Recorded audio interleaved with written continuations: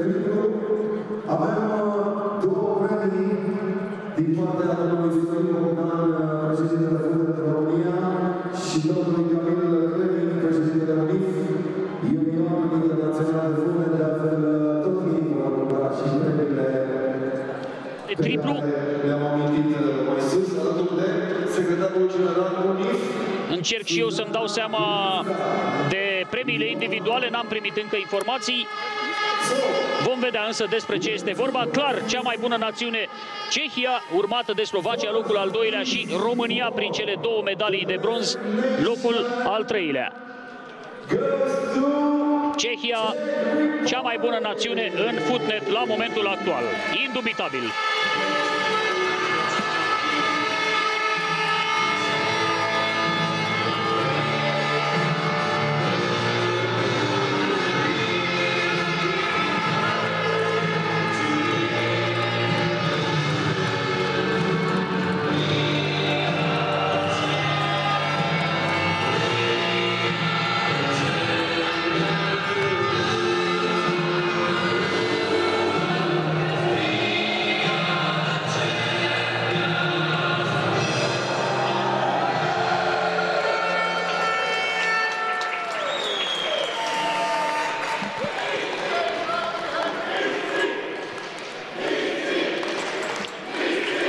Suporterii cehi se bucură nedisimulat de succesele favoriților.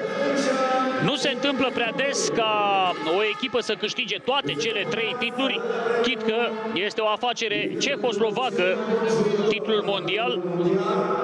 Ladies and gentlemen, best player on the championship world footnet from Romania. Cel mai bun jucător al campionatelor mondiale, Alin Bălan, trăgătorul care a tras echipa după el, primește trofeul pentru cel mai bun jucător al campionatelor mondiale, un trofeu uh, pe deplin meritat de către uh, trăgătorul de la GSF Cluj-Napoca.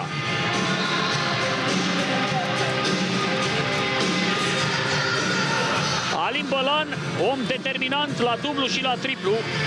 Practic, uh, el cred că a fost uh, cel care a imprimat uh, stilul și ritmul valoric pentru echipa noastră, dublă medaliată cu bronz în probele în care am ocupat doar locurile 4, respectiv 5 la Brno în urmă cu 2 ani. La triplu, medalie de bronz. Uitați-vă ce râde Sorin Bogdan. Îi place Locul al treilea la proba de triplu, România! Datorită Pentru ultima dată rostim numele jucătorilor uh, români implicați la proba regină, proba de triplu, chiar pe fundalul acestei imagini cu tricolorul arborat în tribună. Așadar, pentru România, Alin Bălan, cel mai bun jucător al campionatelor mondiale, Florin Bozga, ambii de la GSF Cluj, Silviu Crișan și Emil Borz de la Simex și Mleul Silvaniei, iar echipa s-a completat cu Ioan Creț de la Footnet Oradea. Cele trei echipe sunt uh, cele mai bune din țară după Tengo Salonta, campioana României, care n-a dat pentru această ediție niciun jucător la lotul național. Florin Bozga, medaliat de către Camil Klenic, președintele Asociației uh, Cehe de Futnet și al UNIF, Asociația Internațională de Futnet. Silviu Crișan primește și el distinția, la fel și ceilalți componenți ai echipei noastre, ultimul Emil Borz, cel care a înființat Simex și Mleul Silvaniei.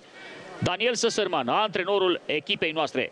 Două medalii, o recoltă excelentă. Dacă am fi fost și la simplu acolo, era complet. Deocamdată nu putem să rivalizăm cu cehii și cu slovacii, însă împreună putem ridica standardele valorice ale acestui sport în România. Slovacia, ladies and gentlemen, the second place. Locul al doilea, Slovacia.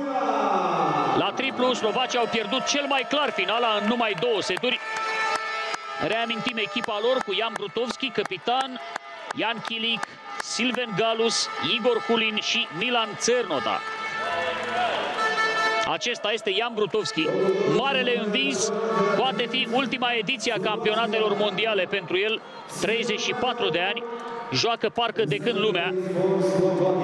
Însă aceste mondiale n-au fost pentru slovaci. Cehii, marilor rivali, i-au pus la respect la simplu, la dublu și la triplu.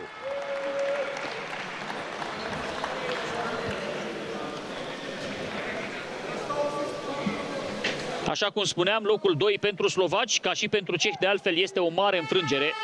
De aceea, bucuria lui Ian Brutovski și compania este mai mult decât rezervată.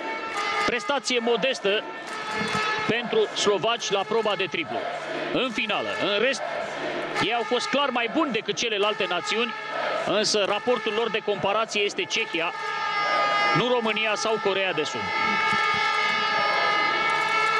Zuzana Vinianska, secretar general la UNIF, este și ea prezentă între oficialitățile care premiază vicecampioana mondială la triplu și cea de-a doua națiune după adițiunea de puncte din clasamentul uh, pe medalii.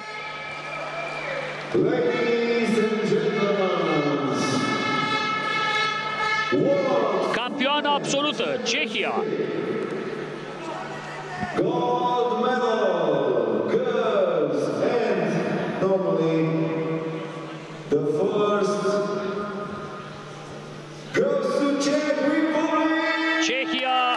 demonstrează că momentan nu are contracandidat. În urmă cu 2 ani la Brno au câștigat două titluri mondiale, scăpându-l printre degete pe cel de la dublu. Acum le-au câștigat pe toate trei, cel de la dublu fiind uh, adjudecat în condiții aparte. Cu Pavel Kop accidentat atunci când erau conduși cu 1-0 la seturi. Melodia campionilor răsună din nou pentru cei.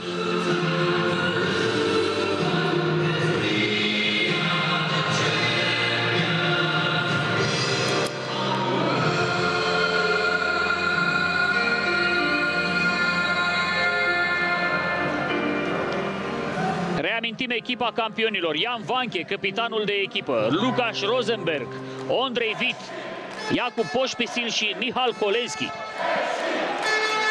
Doar primii trei au jucat de-a lungul celor uh, numai 31 de puncte câte a avut finala de dublu, mai puțin de jumătate în comparație cu finala de dublu întinsă pe durata a 72 de puncte.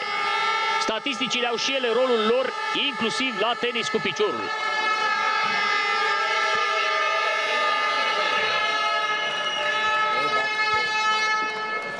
Imnul Cehiei va fi imediat uh, fundalul sonor al sălii polivalente.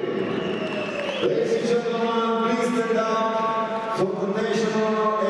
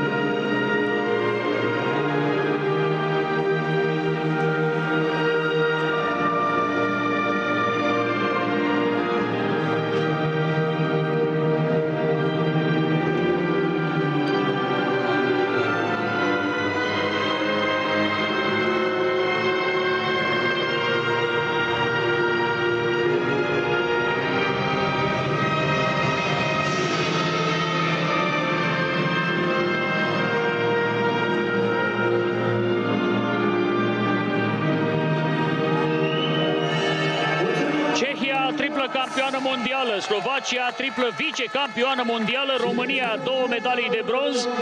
Aceasta a fost povestea minunată a campionatelor mondiale de footnet de la sala polivalentă din Cluj-Napoca, Luxport, peste 12 ore de transmisiuni directe în cele trei zile de competiție Tot ce e frumos trebuie însă să se încheie în numele echipei de transmisie și a organizatorilor Cristian Frisc. Vă mulțumește pentru atenție, să sperăm că vom avea și alte motive să fim împreună la aceleași standarde. Noapte bună, o săptămână ușoară tuturor și tot ce vă doriți alături de Footnetul din România. Seară plăcută!